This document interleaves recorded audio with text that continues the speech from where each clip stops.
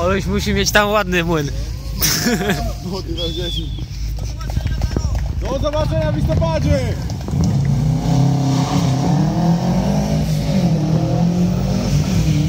Dobrze.